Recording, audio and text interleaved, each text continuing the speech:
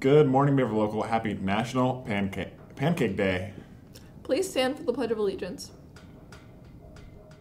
I pledge allegiance to the flag of the United States of America and to the republic for which it stands, one nation, under God, indivisible, with liberty and justice for all.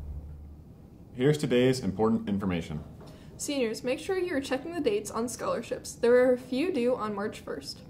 The American Legion Post 376 Women's Auxiliary will be hosting a spaghetti dinner takeout on Saturday, March 9th from 2 p.m. to 5 p.m. at their post in Glenmoor on YNO Road. This will help fund Beaver Local Girls State delegates.